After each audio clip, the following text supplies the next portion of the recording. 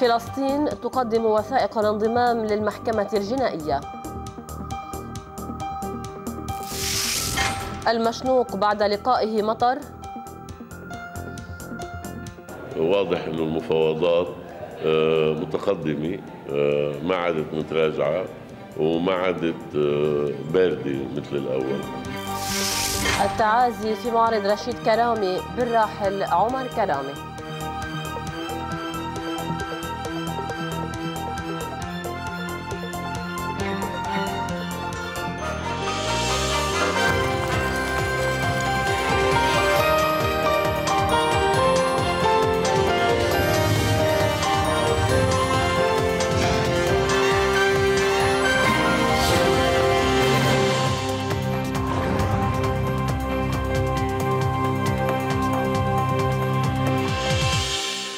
أهلا بكم. مع ما تشهده البلاد من برودة في الطقس عادت الحرارة إلى الحراك السياسي ولو من باب زيارات التهنئة.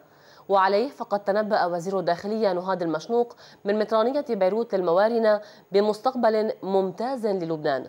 وأعلن عن تقدم في ملف العسكريين المخطوفين لن يعلنه اليوم بانتظار التصور النهائي حوله. المشنوق أكمل جولته باتجاه بعبدة حيث زار الرئيس السابق ميشيل سليمان مطلعا إياه على المراحل التي قطعها العمل لحل قضية العسكريين. أما صحة الملك السعودي فاطمأن عليها سليمان من السفير السعودي في بيروت علي عواض العسيري. المتران بولس مطر يلتقي وزير الداخلية نهاد المشنوق الذي يعلن عن تقدم في ملف العسكريين المخطوفين. زار وزير الداخلية والبلديات نهاد المشنوق المطران بولس مطر في مطرانية بيروت للموارنة للمعايدة بعيد الميلاد ورأس السنة مؤكدا أن اللقاء تناول الاستحقاق الرئاسي ومشيرا إلى تقدم في ملف العسكريين المخطوفين. طبعا البحث أولا ودائما هو باكتمال النصاب الدستوري وانتخاب رئيس الجمهورية وهذا مسعى آه، كلنا عم نقوم فيه. والحمد لله آه، سيادة المطران متفائل وبتمنى أنه تفاؤله ينعكس على اللبنانيين جميعا بالأعياد وكل أيام السنة. مع الوزير هل من جديد لقضيه العسكريين المخطوفين وخصوصا كانوا أبدوا كثير إيجابيات في في في تقدم جدي غير معلن آه، وما رح نعلنه لما بيتم الاتفاق على أي آه، تصور نهائي بنعلنه إن شاء الله. المهم إنه واضح إنه المفاوضات آه، متقدمة آه، ما عادت متراجعة وما عادت آه، باردة مثل الأول. وأشار المشنوق إلى أن العمل بخطة السير الجديدة بحاجة إلى بعض الوقت مع وجود نحو 300 ألف سيارة أجنبية بشكل دائم على الطرقات اللبنانية. سليمان يدعو إلى التمسك بتعاليم الإسلام ويطلع من المشنوق على مراحل قضية العمل للإفراج عن العسكريين. أمل الرئيس السابق العماد ميشيل سليمان أن يحمل العام الجديد بشائر إنجاز الاستحقاقات الدستورية وعلى رأسها انتخاب رئيس للجمهورية بأسرع وقت ممكن. وشدد خلال استقباله وزير الداخلية والبلديات نهاد المشنوق على أهمية الحوار المبني على الشفافية لمواجهة الأخطار المحدقة والتحديات الدستورية منها والأمنية مشيدا بالتدابير والإجراءات التي اتخذتها الأجهزة العسكرية والأمنية لضمان سلامة المواطنين خلال خلال الأعياد. واطلع سليمان من المشنوق على المراحل التي قطعتها قضية العمل على الإفراج عن العسكريين المختطفين وبحث سليمان مع سفير السعودية علي عواض العسيري في العلاقات الثنائية والأوضاع في لبنان والمنطقة. كما اطمأن إلى صحة خادم الحرمين الشريفين الملك عبد الله بن عبد العزيز. وللغاية عينها أبرق سليمان إلى الملك عبد الله متمنيا له الشفاء العاجل من وعكته الصحية كما اتصل بولي العهد السعودي الأمير سلمان بن عبد العزيز والأمير متعب بن عبد الله بن عبد العزيز. وتوجه سليمان إلى اللبنانيين والمسلمين في كل أنحاء العالم بالتهنئة بحلول عيد المولد النبوي الشريف متمنيا أن تحمل هذه المناسبة الخير والسلام داعيا إلى التمسك بتعاليم الإسلام الذي هو دين الاعتدال والتسامح. السفير السوري في بيروت علي عبد الكريم علي في دارة الحص معزيا ومهنئا. زار السفير السوري في لبنان علي عبد الكريم علي الرئيس سليم الحص في دارته مهنيا بحلول عيدي الميلاد المجيد والمولد النبوي الشريف ومعزيا برحيل الرئيس عمر كرامي. وبعد اللقاء أثنى السفير السوري في تصريح له على دور الرئيس الراحل كرجل دولة يمثل مبدأ العيش المشترك والانتماء إلى الوطن. كان الرئيس عمر كرامي الشقيق والصديق والصورة الأخرى للوطنية وللموقف وللانتماء. وعن قرار الجانب اللبناني فرض تأشيرة دخول على السوريين بدءا من الاثنين في خطوة هي الأولى في تاريخ العلاقات بين البلدين.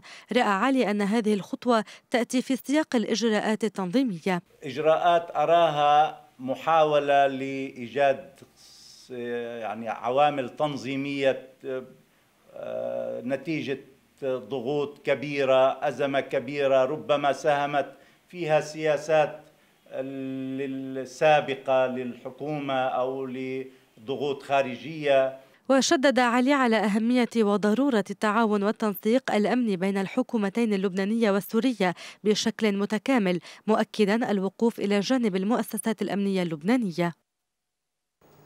أشار اللواء عباس إبراهيم في مقابلة مع رويترز إلى أن تنظيم الدولة الإسلامية داعش يحاول السيطرة على منطقة القلمون كي لا يكون هناك تعددية عسكرية في المنطقة.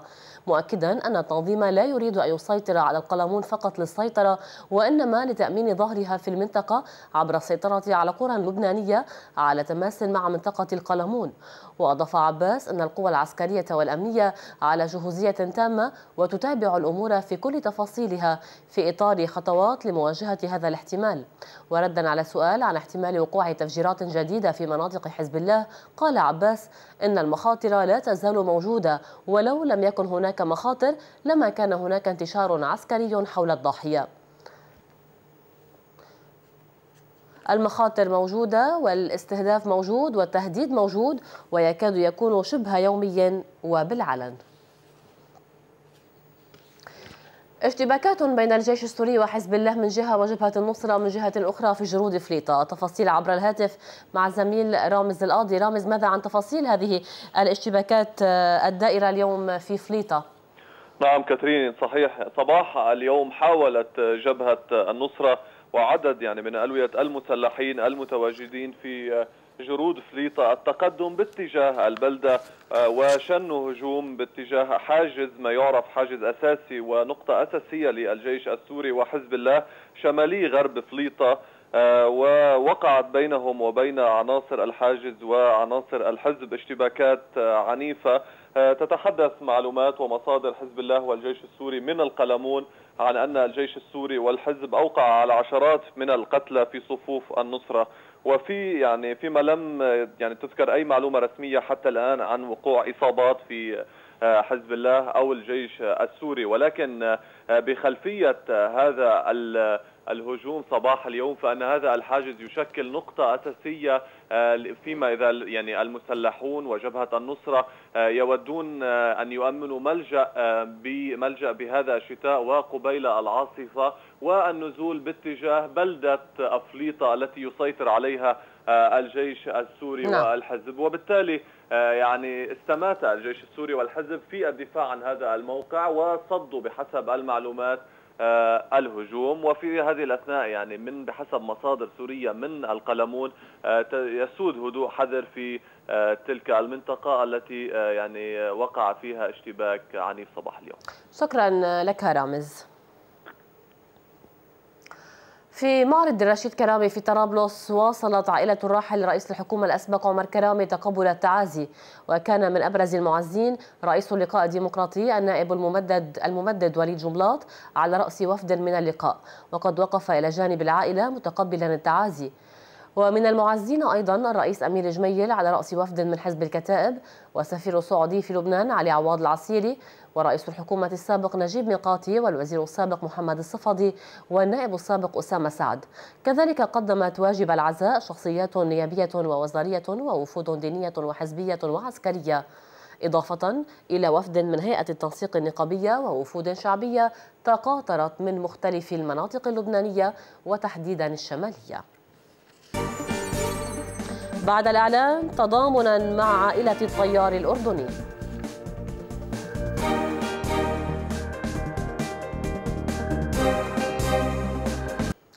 أهلا بكم من جديد. فلسطين تتقدم بطلب العضوية في المحكمة الجنائية الدولية. سلم الوفد الفلسطيني لدى الأمم المتحدة إلى مقر المنظمة الدولية وثائق الانضمام إلى نظام روما الأساسي المؤسس للمحكمة الجنائية الدولية ومعاهدات دولية أخرى. وأكد المراقب الفلسطيني لدى الأمم المتحدة رياض منصور تسليم الوثائق في مقر المنظمة.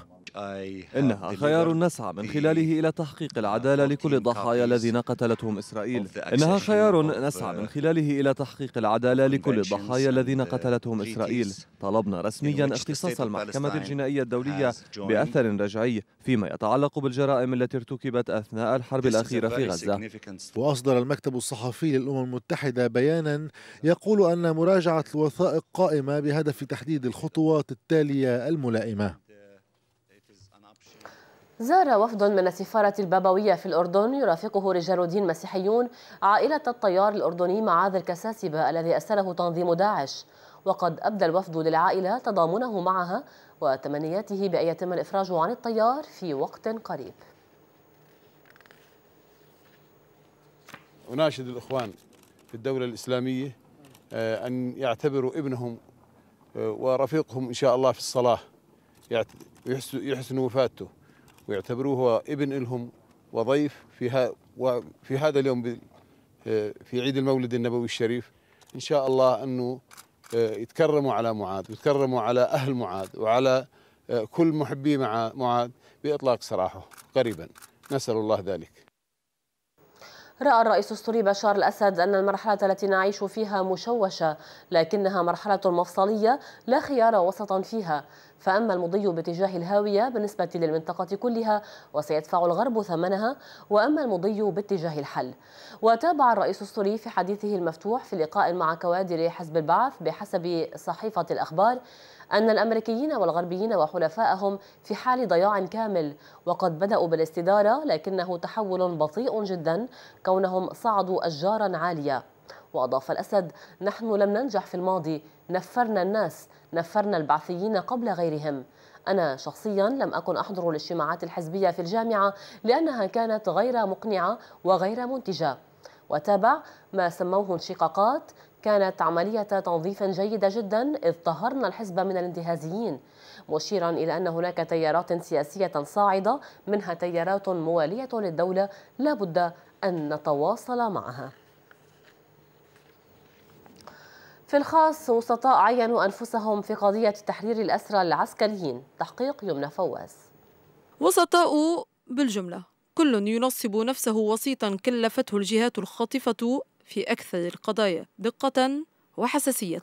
قضية المخطوفين اللبنانيين لدى جبهة النصرة وداعش. وسطاء لم يوسطهم أحد والمسؤولون في خلية الأزمة لا حياة لمن تنادي. بعدما سمي أحمد الفليطي وسيطا رسميا من قبل الحكومة اللبنانية وداعش كقناة وحيدة للتفاوض من أجل إطلاق سراح العسكريين المخطوفين يعود فجأة إلى الأضواء الشيخ وسام المصري مدعيا أنه مكلف من داعش ومزود مجموعة من المطالب.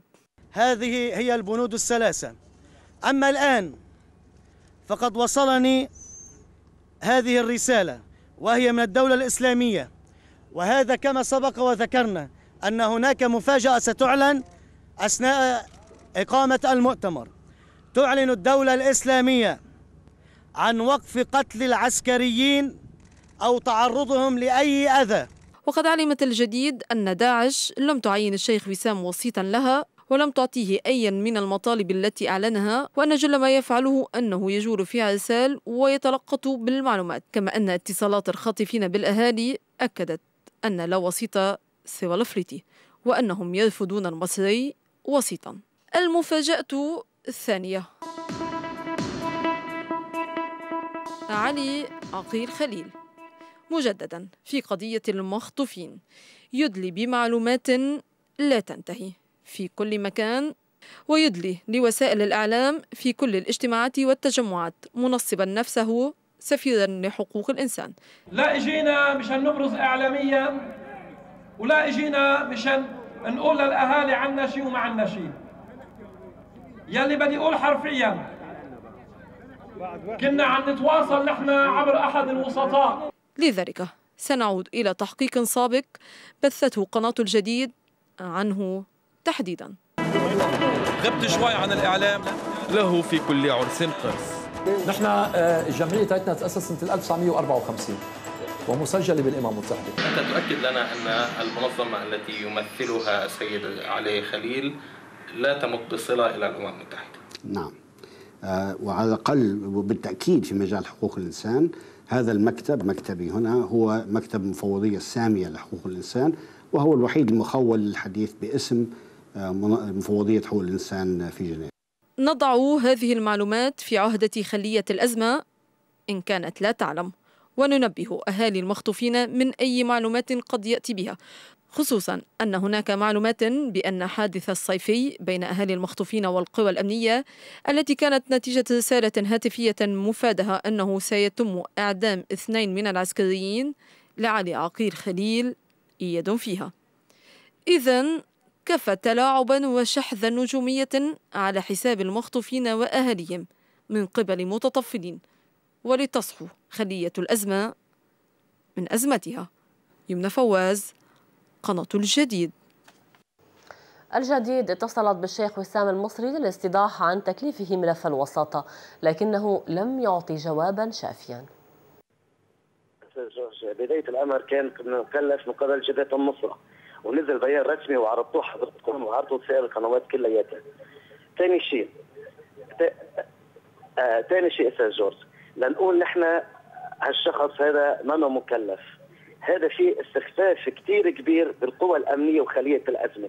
يا هل ترى أنتم أدرى الناس؟ جنود عرسال ممكن حدا يطلع عليه بدون تنسيق مع مكتب الأمنيين ومكتب اللواء عباس إبراهيم؟ يعني سؤالكم له قسمين. إما استخفاف بخليه الأزمة وإما استخفاف بالقوى الأمنية.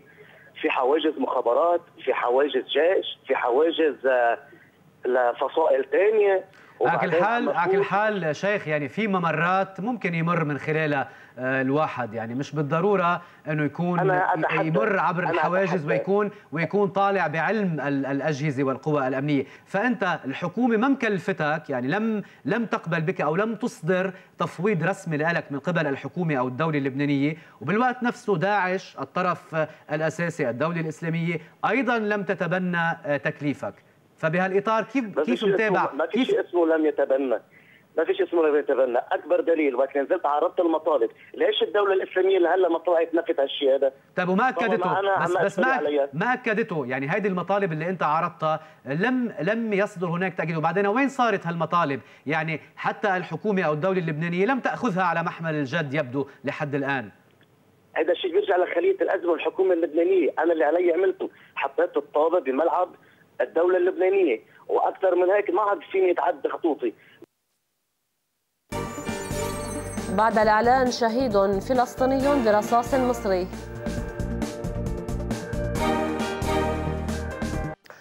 أهلا بكم من جديد قتل شاب فلسطيني يبلغ من العمر 17 عاما برصاص الجيش المصري في مدينة رفح على الحدود الجنوبية لقطاع غزة مع مصر وفقا لوزارتي الصحة والداخلية في غزة. وقال أشرف القدرة المتحدث باسم الوزارة إن الشاب زكي الهوبي أصيب برصاصة في الظهر استقرت في القلب ما أدى إلى وفاته على الفور. مشيرا إلى أن جثته نقلت إلى مستشفى أبو يوسف النجار في مدينة رفح. بدوره أدان إياد البزم المتحدث باسم وزارة الداخلية في غزة مقتل الشاب واعتبره تطورا خطرا واستخداما مفرطا للقوة ولا ينسجم مع علاقة الجوار بين الأشقاء معلنا أن الأجهزة الأمنية تجري التحقيقات لمعرفة ملابسات الحادث. وصلت إلى ميناء كوريغليانو الإيطالي مساء أمس سفينة شحن على متنها 450 مهاجرا غير شرعي بينهم نساء وأطفال أنقذتها البحرية الإيطالية بعدما هجرها طاقمها وسط بحر هائج قرب السواحل الإيطالية. ولم تحدد البحرية جنسيات المهاجرين إلا أن وسائل أعلام إيطالية قالت إنهم جميعا من التبعية السورية. وبلغ عدد المهاجرين الذين وصلوا إلى إيطاليا العام الفائت أكثر من 160 ألفا معظمهم من السوريين والأريتريين. أعلنت السلطات الماليزية أن الطائرة التي تحطمت الأحد الماضي سلكت مسارا غير مسموح لها بسلوكه كما أعلن مدير عمليات البحث والإنقاذ الإندونيسي صباح اليوم عن رصد قطع كبيرة يعتقد أنها جزء من هيكل طائرة إير إيجيا وقال في مؤتمر صحفي أن فرق البحث رصدت جزئين كبيرين من الطائرة على عمق 90 قدما في بحر جاوا مشيرا إلى محاولات لالتقاط صور لهذه القطع وتشارك في عملية البحث قبالة جزيرة بورنيو ببحر جاوا سفينة فرنسية مزودة بأجهزة لرصد الصوت تحت الماء. وعلى متنها خبراء من فرنسا وسنغافورة وإندونيسيا. قانون السير في لبنان الرسمي والافتراضي في تقرير لناصر بلوط.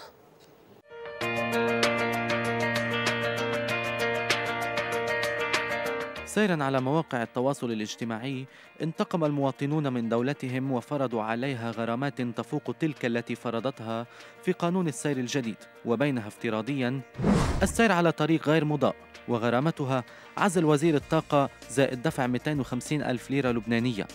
مرور موكب أمني متهور الغرامة السجن لصاحب الموكب زائد دفع 750 ألف ليرة لبنانية. النزول في حفرة الغرامة عزل وزير الأشغال زائد دفع 400 ألف ليرة لبنانية. أما سيرا تحت سقف القانون فماذا في البنود التي ستبدأ بالتنفيذ في مطلع شهر نيسان المقبل؟ أرسى وأسس لأجهزة ومؤسسات بترعى بترعى هذا القانون وبترعى تطبيقه وأجهزة رقابية بتراقب المؤسسات العامة والخاصة في وحدة مرورية للسلام المرورية معهد مروري للسلام المرورية. أيضا حول مكاتب تعليم القيادة لمدارس وما للكلمة ما الكلمتين من معنى المكتب له طابع تجاري بينما المدرسة لها طابع رسالي أيضا تبغي الربح ولكن له طابع أكثر رسالة. رفع مستوى خبراء السير ومدربي تعليم القيادة فألزمهم أن يكونوا يحصلوا على إجازة تأس شهادة امتياز من المديرية العامة للتعليم المهني والتقني بالإضافة إلى رفع العقوبات والغرامات يلي والغرامة بتكون تصاعدية وفقا لخطورة المخالفة على السلام المرية يعني على السائق والركاب المركبي والمشاة وغيرها من السائقين يعني جميع مستخدمي الطريق. أرسى أيضا ووضع نظام النقاط وهذا نظام لديه من المساواة في العدالة الاجتماعية أيضا لأنه في أشخاص إذا كانت الغرامه قد ما تكون مرتفعة في أشخاص يستطيعون أن يستطيعون في أشخاص يستطيعون أن يدفعوا ويسددوا هذه الغرامات. هذا القانون لم يلحظ الفوضى الهندسية ولا حق المواطن في القيادة على طرقات آمنة ومجهزة. أكيد المخالفات القاسية بتغير إنما هي لحالها ما بيكفي لازم يكون في توعية كمان. لأنه الدراسات أثبتت أنه 85% من سبب الحادث المسؤولية بترجع للسائق. إذا نحن حطينا غرامات عالية وما طبقناها ما رح نلاقي نتيجة. نحن بنناشد القوى الأمنية المسؤولة ووزارة الداخلية أنها تتشدد بتطبيق القوانين وتتشدد على فترة طويلة ما تكون فترات آنية. أقرباء السياسيين السياسيين المواكب كمان عم بيسخلفوا ما حدا عم يتعرض لهم. يعني عملية ال الوسائط يلي عم عم يطرحها. هذا الشخص يلي عم ما عم يتنفذ قانون بحقه. معرض معرض إنه يت... لاصطدام مروري وللقتل وانه يقتل غيره أكثر من الأشخاص يلي هن عم عم عم ينسجموا مع القانون. عدد ضحايا حوادث السير تخطى 600 قتيل في العام الماضي ما يستوجب رادعا وقيودا تحد من هذا النزف. ولكن الدولة أوقعت مواطنيها في حفرة اسمها القانون. ناصر بلوط قناة الجديد. كان في هذه النشرة فلسطين تقدم وثائق الانضمام للمحكمة الجنائية. المشنوق بعد لقائه مطر. واضح أن المفاوضات متقدمة ما عادت متراجعة وما عادت باردة مثل الأول. التعازي في معرض رشيد كرامي بالراحل عمر كرامي.